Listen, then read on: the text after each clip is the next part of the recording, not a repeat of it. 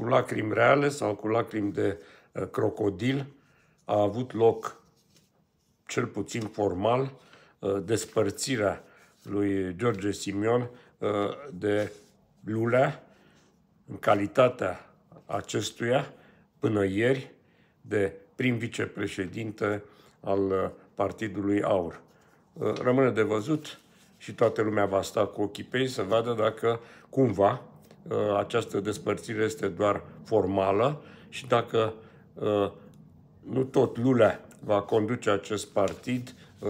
de undeva de sub apă.